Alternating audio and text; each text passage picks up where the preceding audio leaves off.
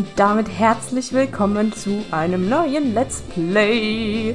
Und zwar Pokémon Feuerrote Edition. Ich habe so Bock drauf. Erstens schön wieder ein altes Pokémon spielen. Ich sage euch aber gleich, ich bin nicht gut. Ich bin auch kein Experte. Aber es macht einfach Bock. Und deswegen habe ich Bock, das zu Let's Playen. Ähm, war erstmal gewöhnungsbedürftig. Das läuft halt über einen äh, Emulator. Logisch. und ähm, ja, also A ist hier B und Y ist A. Das ähm, war halt ein bisschen erstmal so, so, hä, welche Tasten muss ich drücken? Weil hier wird natürlich die normale ähm, Erklärung gegeben von dem Game Boy Advance. So, oh, jetzt fängt es hier schon wieder an.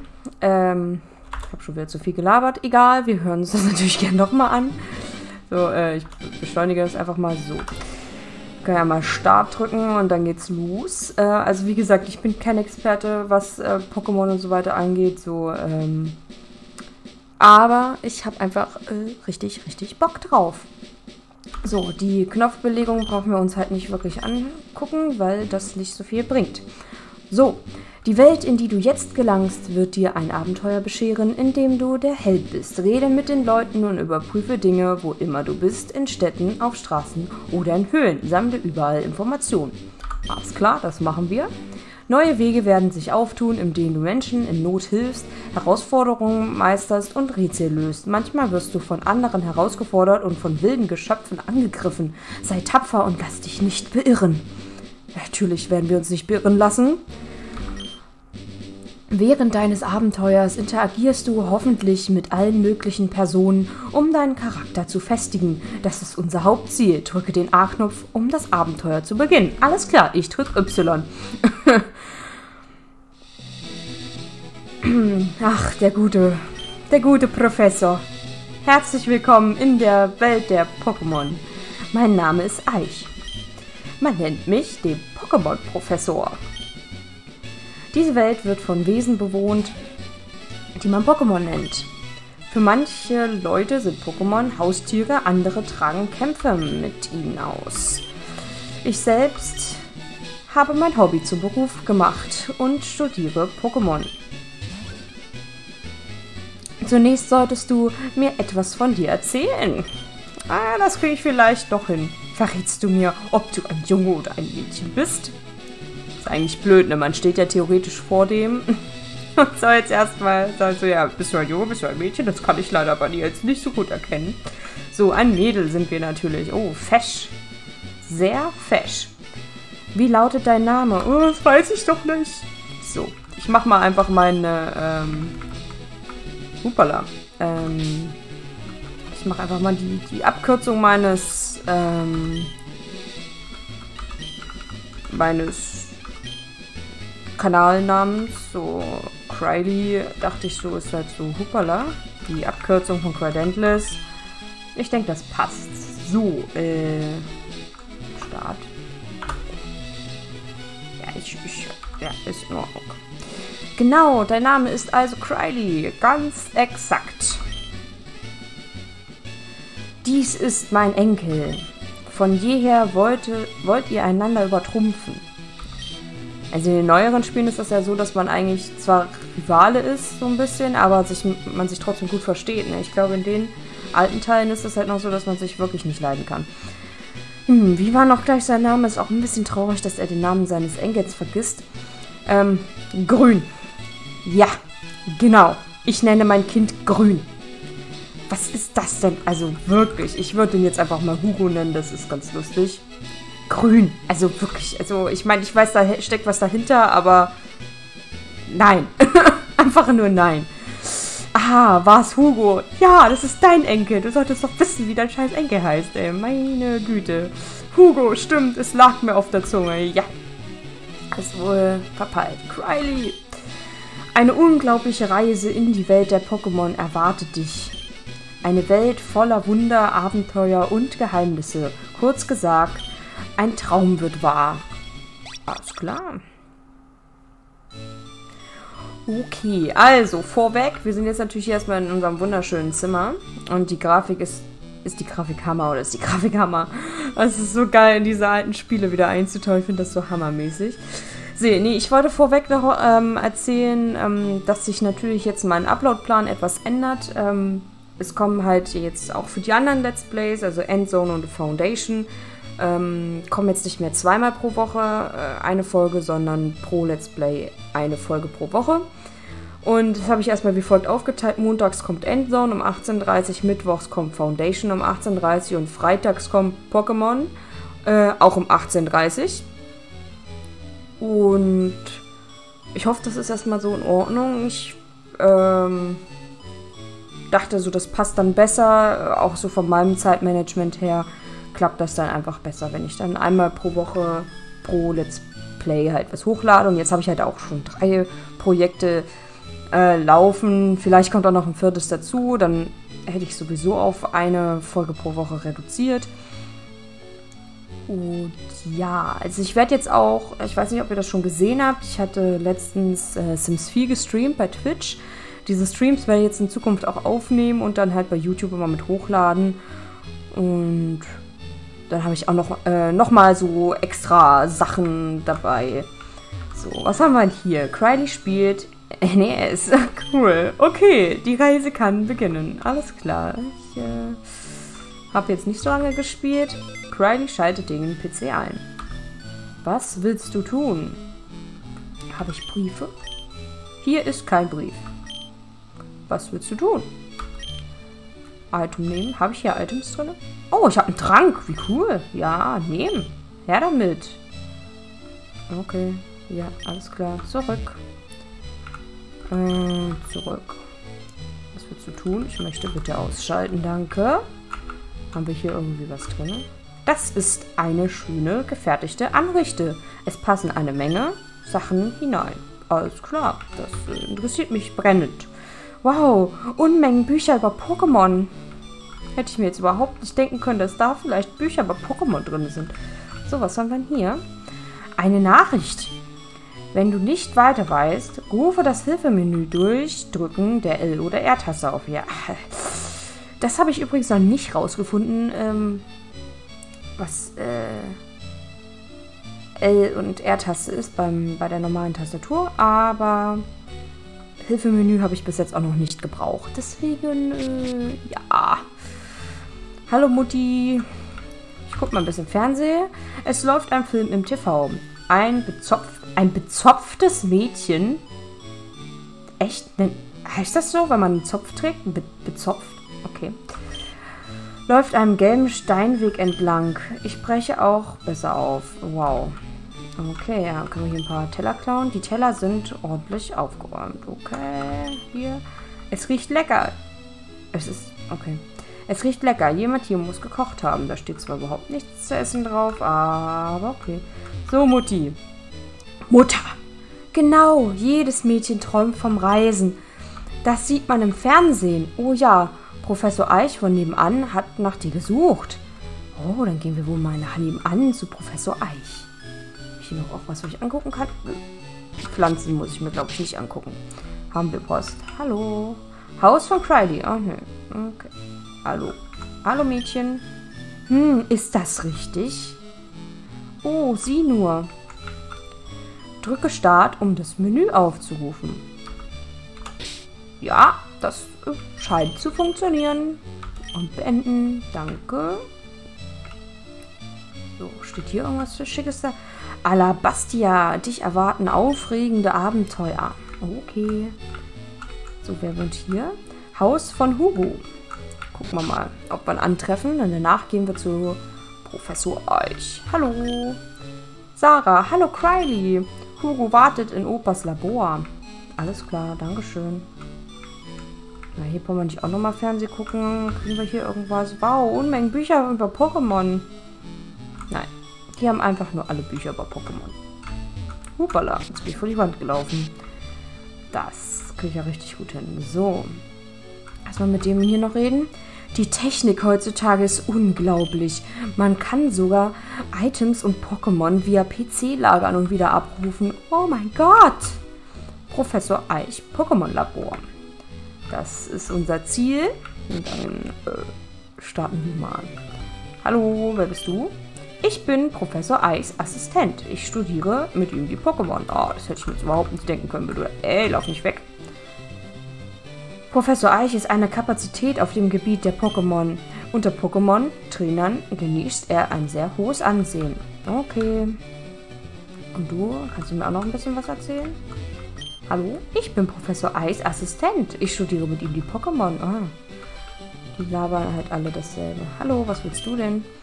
Hugo. Hallo, Criley. Opa ist gerade nicht da. Okay. Opa ist nicht da. Dies hier sind Pokebälle. Sie enthalten Pokémon. Okay. Opa ist nicht da. Dann werden wir wohl mal äh, Professor Eich suchen gehen.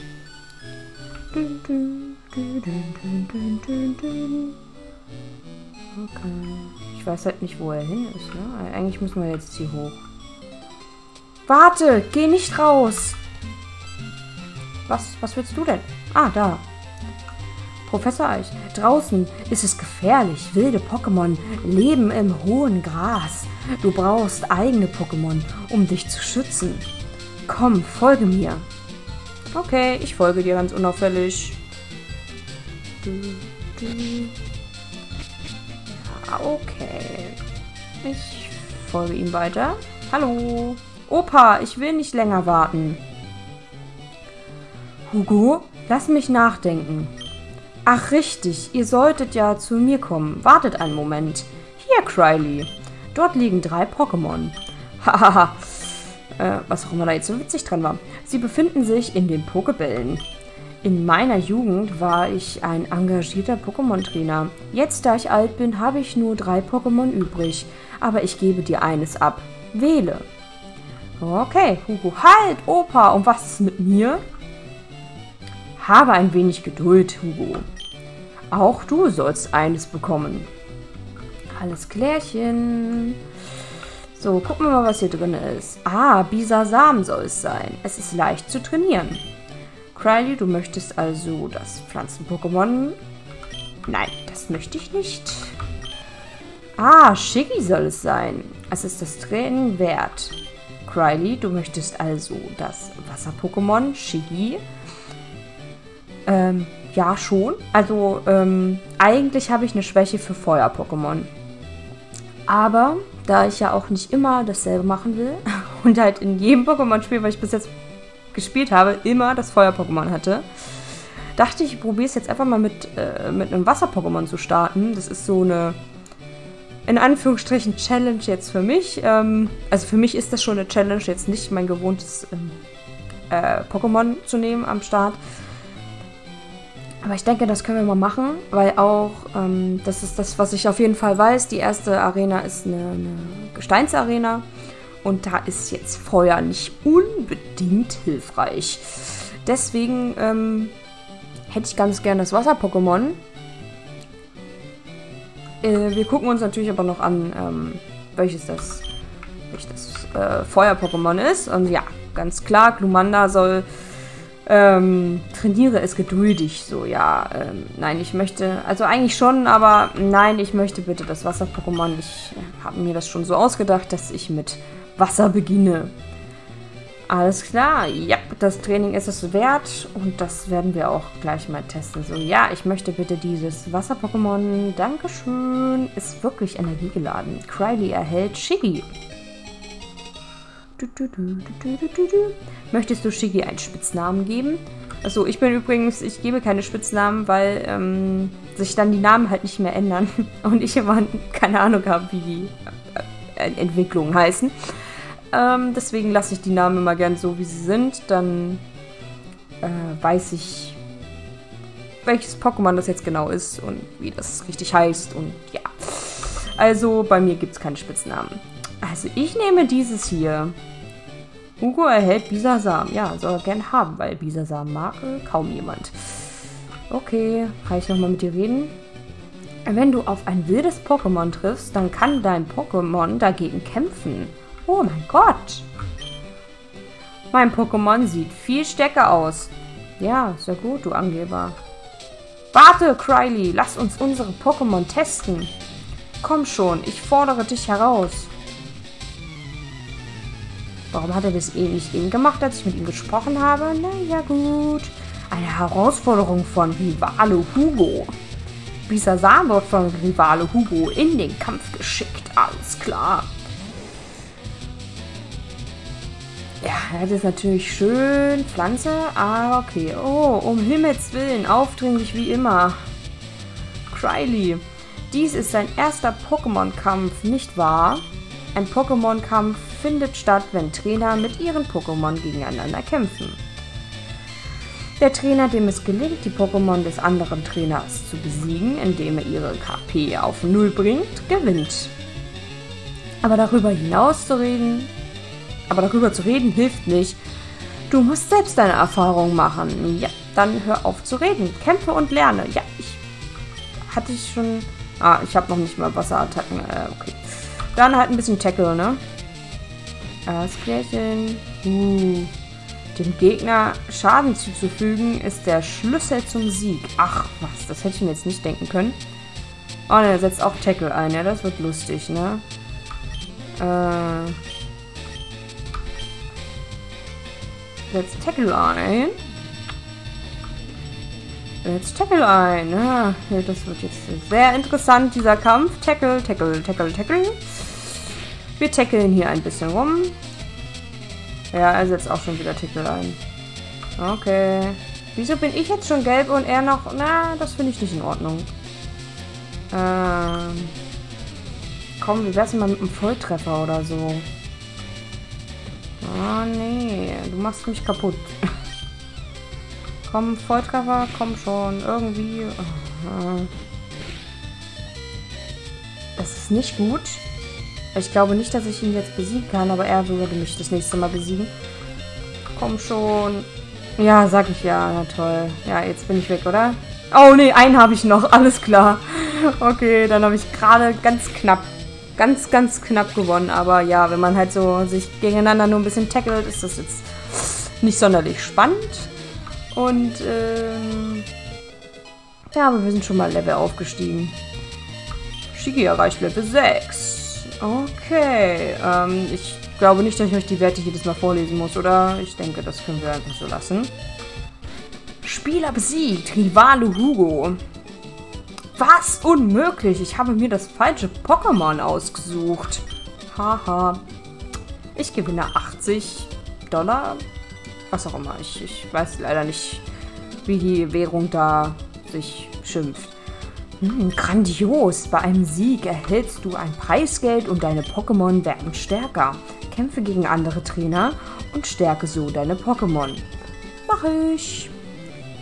Okay, ich werde meine Pokémon trainieren, damit sie stärker werden. Cryly, Opa, wir sehen uns später. Tschüss. Tschüssili. So, jetzt kann ich aber gehen, oder?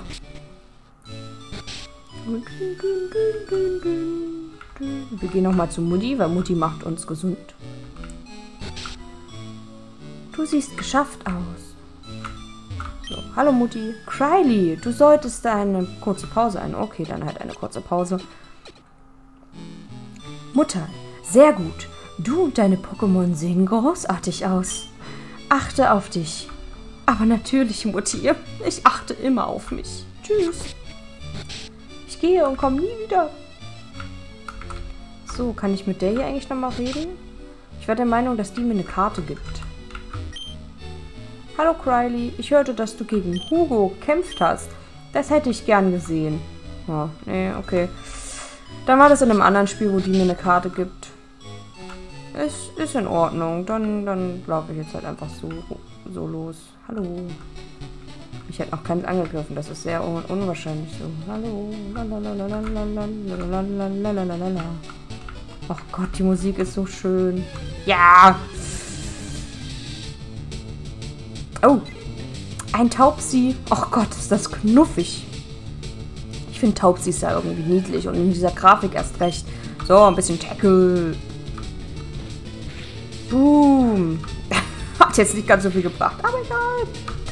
Tackle! Kämpfe werden noch, die werden noch besser. Also ein bisschen aufregender zumindest. Ähm, ich, wenn jetzt hier dann auch ähm, Tackle! Wenn ich mehr ähm, Attacken habe, dann... Ich bin übrigens auch kein Fan von diesem Routenschlag und keine Ahnung, was es da noch alles gibt, ne? Hier mit Verteidigung stärken, Angriff senken, bla blub. Die verwende ich quasi nie. Oder super, super selten. Shiggy erhält 23 E-Punkte. Alles klärchen. Dun, dun, dun, Hallo. Ich möchte bitte. Danke. Oh, noch ein Taubsi. Wir können, wir haben jetzt leider noch keinen Pokéball. Ähm, den kriegen wir, glaube ich, gleich, äh, wenn ich mich richtig entsinne. Let's Tagline. Yay. Oh, noch ein Tackle. Tackle. Ja, ich hoffe jetzt, dass... Ah! Ha, ist daneben gegangen. Super, das ist sehr gut, weil dann habe ich noch ein bisschen mehr Zeit. Ja, ein Volltreffer. Uh. Taub, sie wild wurde besiegt.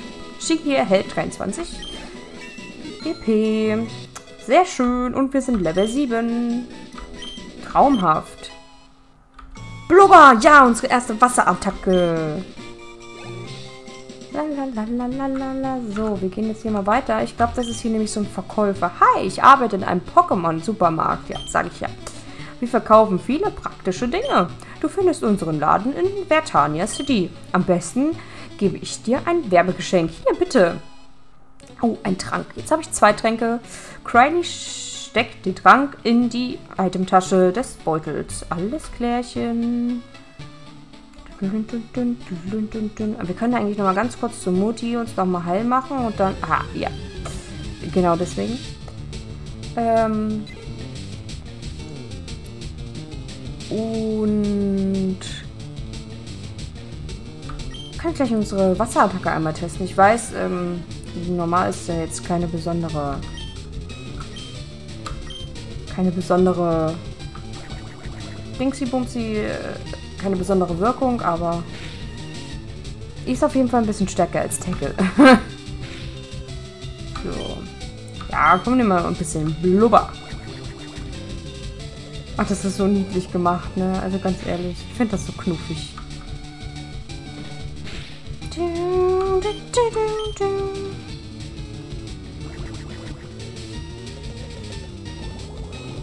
So, komm. Ja! Taubsi Wild wurde besiegt. 23 EP. Das sind jetzt nicht so viele. So, ich wollte, wie gesagt, noch einmal kurz zur Mutti. Uns einmal äh, heilen. Unsere Pokémon. Da sehr Pokémon. Wir haben ja noch... So, genau. Legen wir ganz kurze Pause nochmal ein und dann können wir los nach Vertania City. Ach, das sieht großartig aus. Genau. Wir können dann los nach Vertania City, aber das äh, kommt dann in der nächsten Folge. Ich hoffe, ihr hattet Spaß. Ich hatte auf jeden Fall Spaß. Ich mega hammergeil, dass das hier alles so klappt mit dem Emulator und dass wir auch ROMs gefunden haben. Also ich und mein Freund haben uns die gesucht. Ähm, mega geil. Ich habe so Bock auf Pokémon. Aber wie gesagt, ich bin da kein Profi drin. Ich werde es wahrscheinlich auch nie sein. Aber es ist mega. Es macht mir einfach Spaß. Ich finde die alten Spiele super. Und ja, ich würde mich freuen, wenn ihr ein Abo da lasst, ähm, damit ihr keine weiteren Folgen verpasst. Und dann sehen wir uns hoffentlich das nächste Mal. Tschüssi!